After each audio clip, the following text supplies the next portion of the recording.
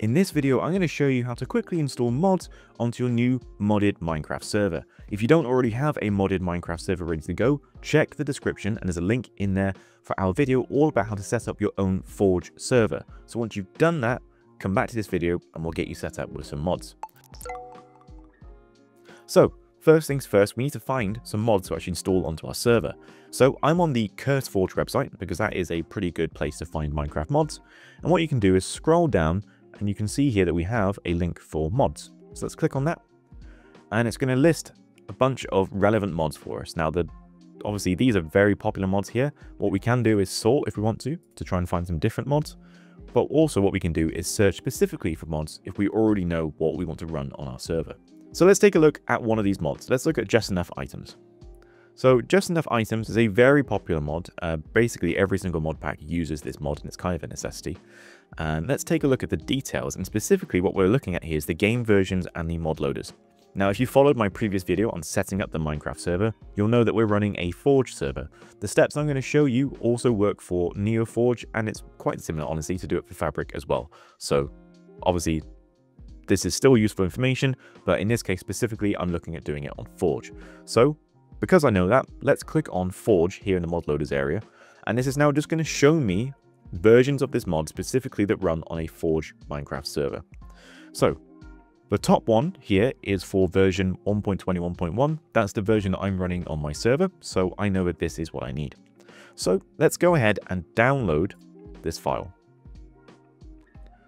Once this file is downloaded, what we're then going to do is just move it into a folder so that we know where that mod is on our computer.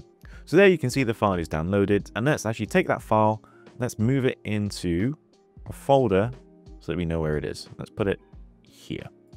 Now, if you're just downloading a few individual mods, what I'd recommend you do is go ahead, go into CurseForge, find all of the mods that you want to install onto your server, put them all into a file space like this, and then once you've collected all of the mods that you want to run on your Minecraft server, we then need to get them onto our server. Now, obviously in my previous video, what I showed was setting up the server on Ubuntu. Um, even if you're not running the server on Ubuntu, even if you're running the server locally on your own PC, the folder structure I'm going to show you is basically exactly the same. So these steps still work. So, so even if it's not exactly what you were looking for, don't worry, this video is still helpful for you, so stick with it. So what we're going to do is access our remote server so that we can see the file space for our server. Now, because we're going to be moving a lot of individual files around on a remote server, probably the easiest way to do this is to use an FTP client like FileZilla. So what I'm going to do is open FileZilla here because I already had it installed. And if you don't already have FileZilla installed, what you can do is just search for it on Google. And there you go. It's the free. It's a it's a completely free program. You can just download the client right there. And once you've done that, you'll end up with this interface. So it's the exact interface that I'm using. So let's open FileZilla. And what we want to do is log into our remote server with FileZilla so that we can then start accessing the file space. So what I need to do is get the server access details so that I can actually log into FileZilla. So let's just pull those details up now. So I just need the IP address for FileZilla because that's going to go into the host section. And then I'm just going to type in my user that I set up to actually manage the modded Minecraft server, which is modded mc admin. And then the password for that user and because I haven't actually set up any FTP specific details for this server, I'm going to access this server via port 22, which means I'm going to access it via SFTP. Basically, if you don't know what that means, don't worry. Um, if you haven't set up an FTP user for your Linux server, then just go ahead and use port 22. And there we go. We're now logged into our remote server using FileZilla via SFTP.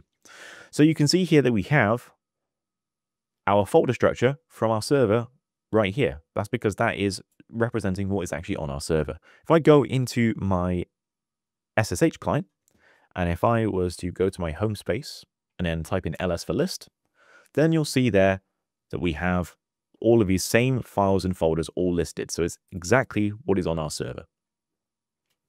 And the reason why we're using FileZilla rather than the SSH client to do this is because with FileZilla, we can literally drag and drop files and rename them really easily as if we're using Windows Explorer. So it's a much easier way of doing it.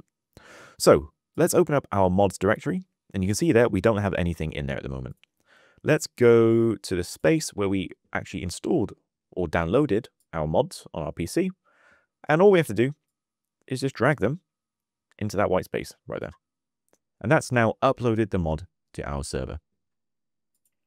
If you're hosting locally, then you obviously don't need to upload anything like that. You just need to find that mods folder in your Forge server once it's installed and drag the mod into that folder. So if you have any other mods, then drag them up into the server. And then what we can then do is go into our terminal and let's actually run our server. So let's do dot slash run pop sh.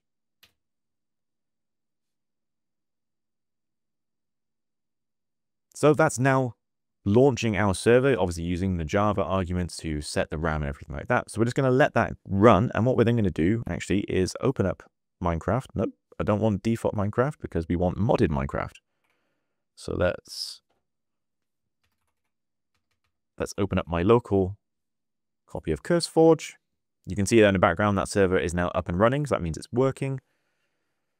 So obviously we've set up the server and that's now running with a mod um, in order to actually access that server, we now need to make sure that we have a profile that uses the same version of Minecraft and has that mod installed. So if you're not using a pre-existing profile, what you can do is create a profile. And let's just call this JEI because that's the only mod I've got installed in this case. Select the Minecraft version of the server that you're trying to join, which is 121.1. It is a Forge server. So we want to make sure that that is ticked. And let's make sure that we're on the latest version of Forge as well. So, okay, so here's our modded Minecraft user that we're going to be running locally in order to join our modded Minecraft server. Now, what we could do is go to add content and find the mods that we then want to run locally so that we can join our server. But another way of doing this, and probably an easy way of doing this actually, is go to the three dots and go to open folder. This is showing you now the local uh, Minecraft instance with all the folders. And it looks obviously quite similar to our server. Uh, but what we want to do is go into the mods section. And what we could do, uh, quite easy actually, is if we go to where we actually put our mods that we downloaded for our server, open that space, and then let's just drag the mod across.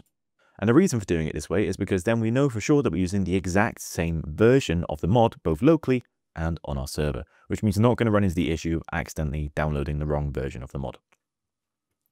So do that for all of the mods that you've installed.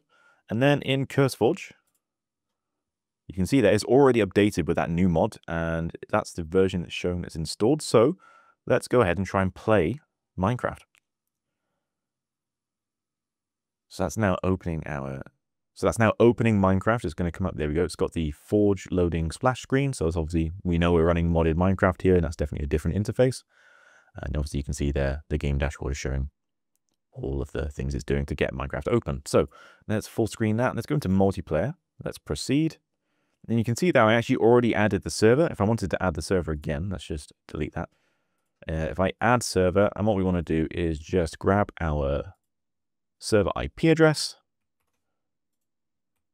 paste that in, and then let's do colon 25565 for the port, press done, and you can see there, it's showing the server as being joinable, and it's also telling us that our version of Minecraft and the mod we're running matches the server. So, if I hit play,